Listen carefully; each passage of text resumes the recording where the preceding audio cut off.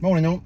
Just back from the gym and from previous to that I was with a, a new client. Um, one of the prerequisites I have is we spend a couple of hours at their home. They need to be fasted. Uh, we do a, a blood test. It doesn't matter whether you are natural or assisted. We need to know a baseline of what's going on with you internally. Uh, and then there's two tests that we do, um, metabolic analysis and body composition analysis. The metabolic analyzer is a, a, piece of equipment with a mask. You breathe through it for 20 minutes. From the gases that you breathe in and then expel, we can establish exactly what your metabolism speed is, which is fundamental in understanding your macros or the ideal macros for you.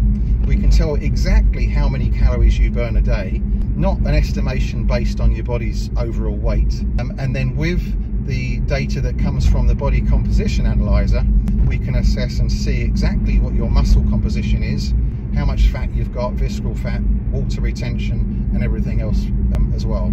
So from that, we can start on building a, a dedicated, focused meal plan based around your individual requirements. That will change as your body composition changes too, um, and that's you know as as time goes on, we can measure that and make the adjustments uh, as we need to. But I tell you something, there's going to be no uh, rice cakes uh, that are involved in this uh, meal. There's none of these Rice Krispie squares. There's nothing that's not got any form of nutritional value like white rice. Uh, it will all be nutritionally dense food that will ensure longevity as well as getting into shape right now. That's uh, my update and rant for the day. Catch you soon.